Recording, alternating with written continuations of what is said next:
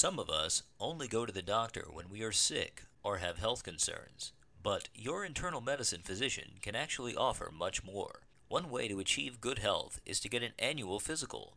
Your physician can actually offer some valuable help during your visit that can assist you in preventing future health roadblocks down the road. Joining us today is Dr. Nathan Sutton to discuss the benefits of getting an annual physical. So I'm Dr. Nathan Sutton. I work at Family Doctor Clinic and at TGMC. People should always get an annual physical, um, mainly to get blood work, immunizations. We check um, blood pressure, heart rate, and basically just get as much information as we can so that you can sit down with your physician uh, and make educated decisions on, on what to do with that information. Some standard health checks that we do at annual physicals include height and weight, blood pressure, lab tests, including blood count and cholesterol, screenings for age-appropriate cancer risk factors, and an EKG to check heart health. For women and men in their 20s and 30s, the main things that we would screen for is blood pressure, cholesterol, diabetes screening, immunization, and this is a physical exam. The only difference for women would be starting at age 21, we do recommend a pap smear. For women and men in the age group uh, 40 to 64, there are a couple of additional screening tests that we like to do. Um, for some women with certain risk factors, osteoporosis screening uh, is recommended. Also, mammograms, pap smears like we discussed previously, uh, in addition to the other things that we discussed, including diabetes screening, cholesterol. Um, as far as men, we also recommend prostate cancer screenings. Depending on smoking history in this age frame, we also recommend uh, a low-dose CT scan uh, of the lungs to, to screen for lung cancer. Annual exams are a great way to be proactive in your health. Preventative care focuses on preventing a disease rather than treating it once it progresses. To prepare for your annual physical exam, you should arrive on time, bring a list of your current medications, and depending on the time of your appointment, be fasting for blood work.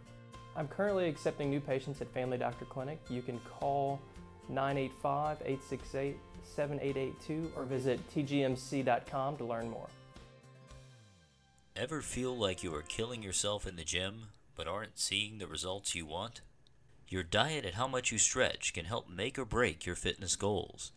A healthy diet, in conjunction to regular fitness, can help build muscle, give you energy, and reduce fatigue. Regular stretching can prepare muscles, improve athletic performance, and reduce soreness so you can get back to the gym sooner. Joining us today is TGMC dietitian Michelle Briceno and TGMC Health and Sports Performance Specialist Patrick Labat. Stretching is a useful tool um, to athletes or any population that's uh, exercising. Um, the key is to uh, determine what type of stretching is best for you. All of them have been shown to work, um, but dynamic stretching, um, ballistic stretching, static stretching, all of these have been shown to work. Mostly with my athletes, I use more dynamic or ballistic stretching. The only time that I really try to focus on using a static stretch is if the person, the client, or the athlete uh, actually shows a lack of range of motion into an area that they really should have range of motion, uh, whether that be due to damage or damaged tissues or anything like that, injury, previous injury, um, or just not having that range of motion, never been able to get there. Um, so I think there's a place for all of them. It's just trying to determine which one works best for you. You can't outrun a bad diet. Eating fuels your body with the nutrients it needs to burn and refuel before and after a workout. It also complements a fitness routine by helping to lose weight and or build muscle some pre-workout stretches that you can do before your uh, routine or your workout. Um, it's just pretty much anything that's going to target the area that you're looking to uh, activate. Like I said earlier, unless you have a lacking range of motion, um, you really don't need a static stretch any type of area. But you know, ballistic stretching or uh, dynamic stretching prior to uh, prior to and after a workout is both beneficial. You should have a snack before you work out if it's a workout lasting an hour or more, especially those with blood sugar issues. Carbs and protein are great nutrients to fuel your workout. Carbs are what provide us energy, so we need to eat them in order to put energy into our muscles so that we can use them um, during exercise so that we can perform at our maximum capacity. Some examples are oatmeal, granola bars, some Greek yogurt if you can tolerate dairy, um, or even a piece of whole grain toast. Uh, when it comes to post-workout stretching, um, if you're feeling extremely tight in an area, then you can maybe do some light stretching. But mostly what you want to do after a tough workout is um, active recovery, um, whether it be the, that afternoon or later uh, the next day. Um, just making sure that whatever muscle group or uh, parts of the body that you use during that workout that might be sore or overworked, just making sure that they get moving again with some very light activity through full ranges of motion. Uh, it doesn't necessarily have to be stretching. Uh, if you do feel like your range of motion is hampered afterwards, which is normal, a little light stretching can be beneficial. But mostly just become, you know, active recovery. Make sure we get those muscle groups reworking again the next day to increase the blood flow and uh, activate recovery. Eating after a workout is meant to help replenish some of the calories that you've used, but most importantly to help with muscle recovery and to replenish glycogen. If you don't eat, you end up feeling very fatigued and you battle low blood sugar. Um, it also can limit your body's repair process, so it'll make it harder for you to reach those fitness goals. It's important for you to also drink water before, during, and after a workout to prevent dehydration. It's recommended to eat within 30 minutes after your workout. If you're unable to eat a full meal right after, have a snack, and then make sure you're having a full meal within three hours. Just remember, please rehydrate. Complex carbs such as brown rice, quinoa, healthy lean proteins like chicken and fish are great options for a post-workout meal.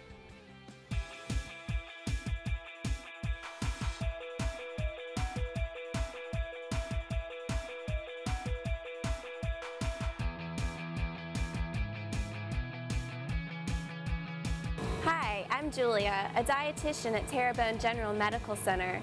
Today's edition of The Fresh Fork is all about avocados and what makes the avocado a superfood. When shopping for avocados, choose an avocado that yields gently to pressure and that has a knob at the stem that easily falls off. Store fully ripe avocados in the refrigerator and those that are not yet quite ready to eat at room temperature. Did you know that avocados are the only fruit with a significant source of fat? Avocados contain monounsaturated fatty acids, which help reduce LDL or bad cholesterol levels. It's this healthy fat that helps enhance the absorption of nutrients in other food that avocados are eaten with. Avocados alone contain over 20 different vitamins and minerals, 3 grams of fiber, and 6 grams of good fat. If you're not yet convinced on the power of avocados, research shows that those who consume avocados regularly tend to have a lower BMI and smaller waist circumference than those who don't consume avocados regularly.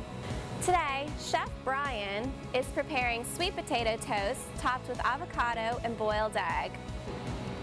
First, take an avocado, slice in half.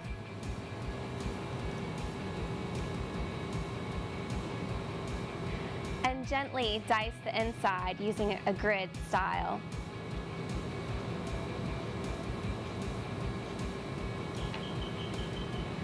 Take a spoon and gently scoop it out and place into the bowl. Next, we're using a tablespoon of lime juice and the lime zest mashing together until we form a bit of a paste.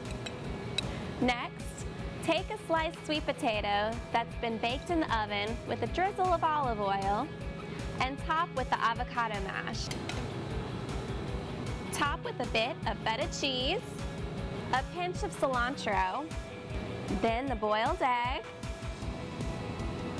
and a dash of cayenne pepper for some heat. And there we have it, a delicious meal or a snack for any time of the day, the avocado sweet potato toast with egg on top.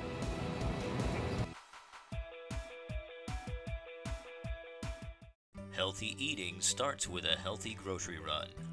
Michelle Briceno, TGMC dietitian, invites us to grocery shop with her at Cannata's Family Market. Michelle's tried and true tricks will help shoppers make smart decisions while at the store.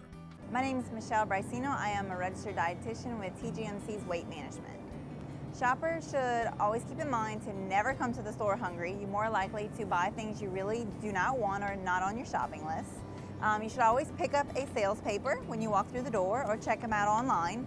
Um, that way you can see what's in season and what's on sale and purchase um, healthier and cheaper items um, that are in stock. So the first section you want to start off your grocery store tour with is going to be uh, in the produce aisle. So this is going to be the majority of what should be in your buggy. About 50% of your plate should be fruits and vegetables at all times.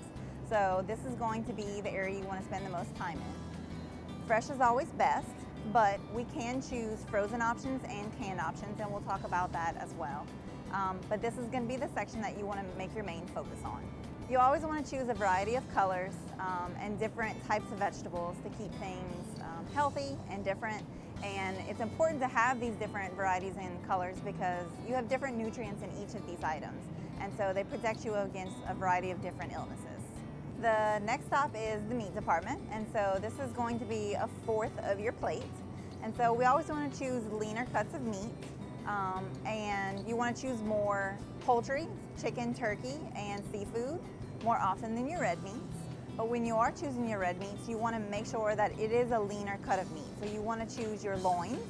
Um, and you also want to make sure that there's not as much marbling in your meat. And marbling is when you can actually see the fat in the meat. So it's not only trimming your fat, but also choosing a cut of meat that has less fat in the meat itself. Red meat should be limited um, to once to twice a week, and that is for heart health guidelines. The next section is going to be the bread department. And so this is a very tricky area for people because you're supposed to have at least half of your grains whole grains for the day. So the first thing you want to do is look at the ingredient list. So you want to make sure that the first four ingredients have the word whole in it, not just wheat, whole. This is going to indicate a whole grain product. You also want to make sure that sugars or honey or molasses isn't in the first four ingredients as well because um, this can increase the amount of sugar that we are eating in our diet. We want to also make sure that there are at least three grams of fiber per slice to help out with our dietary fiber intake. And we want to make sure that you're not picking based on the color of our bread. So a lot of times we look at the bread and it looks brown, so we just grab it. But they actually dye bread brown with molasses and honey to give it that dark color that you typically see with whole grains. So you always hear that you should shop the perimeter of the store, which is good, this is where you want to be, but there are great things you can find in the center aisle. So when produce is not in season or you're looking to save some money, canned goods and frozen can be just as good as your fresh. So a couple things you want to look at when you're looking for your canned goods is to make sure that there's no salt added and no sugar added. Not a lower sodium or reduced sodium or sugar. You want to make sure it's no salt added. And when you look at the ingredient list, it should be only the vegetable that's in that can and water. So a fourth of your plate should be your grains. So this is going to include your not your starchy vegetables, um, such as corn, potatoes, peas and beans, and your rice and your pasta. So you want to have a variety of these foods. So you always want to choose more brown rice than white rice, and you always want to choose more whole wheat pasta than white pasta. And you want to have a variety of rices such as um, wild rice, couscous, quinoa, things like this. Juice is a very common aisle, especially for those with young kids. Um, and this is a very important aisle to understand what you're purchasing. So when you look at a label, you want to make sure that above the nutrition label it says 100% juice.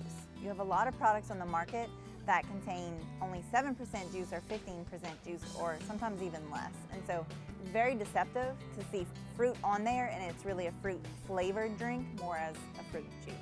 Next stop is our dairy aisle and this is an often underconsumed food group. It is one of our five food groups, and so it is important in our diet.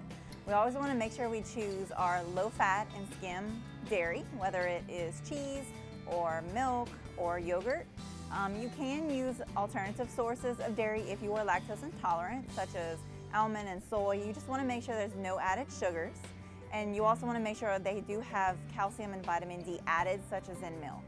One of the most often shopped aisles is going to be the bakery section and this is where a lot of our sweets and desserts are going to be found. They have no health benefits in our diet, but they are delicious, so we do want to make sure we're eating them in moderation. Just keep in mind that it is one of our top sources for added sugar and for bad heart-harming fats. So the frozen aisle can be your best friend, especially in the times of the year where produce is not as plentiful. Um, this is a section where you can save money, you can keep several different varieties of vegetables in your freezer and pull them out when you forget to have one with your meal. You just want to make sure, just like your canned goods, there's no added salt or added sugar.